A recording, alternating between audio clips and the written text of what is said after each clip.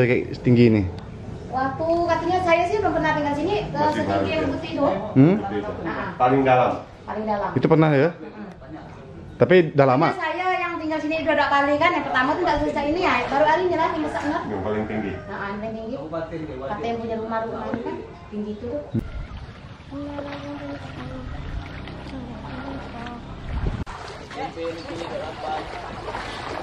Ini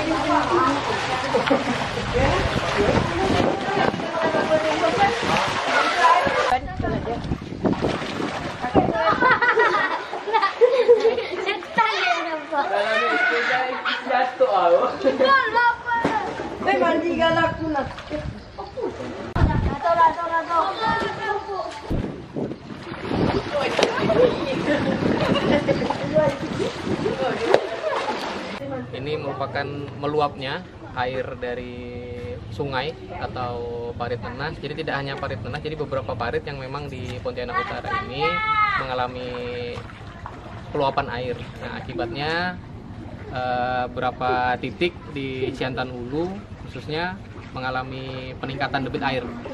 Yang utama yaitu di sini di daerah Bentasan, khususnya di tepian parit nenas kemudian di Jalan Hidayah sama di masih di satu kawasan dengan Parit Nanas, kemudian beberapa komplek perumahan yang di tepi Sungai Malaya yaitu di komplek Tiara Pesona sama komplek Dwi Ratna itu ada beberapa wilayah yang memang jalannya terendam air. Kalau yang terdalam saya lihat sekitar 50 cm. Untuk beberapa rumah juga memang ya kurang lebih 10 sampai 15 cm memang ada yang masuk ke dalam rumah. Dan itu memang karena memang eh, lantai rumahnya itu memang rendah. Ada sekitar 47 untuk yang di daerah Bentasan. Rumah yang kemasukan air ya, yang masukkan air Eh, untuk yang terdalam di wilayah mana, Pak?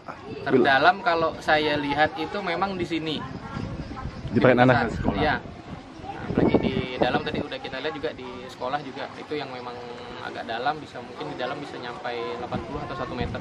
Kalau mengungsi kita sudah arahkan kalaupun memang warga ada yang ingin mengungsi kami sudah buka posko di kelurahan dari BPBD juga sudah siaga kalau memang ada warga yang mengungsi untuk menyiapkan logistiknya. Cuma kita arahkan kayaknya warga lebih banyak memilih untuk tinggal di rumahnya masing-masing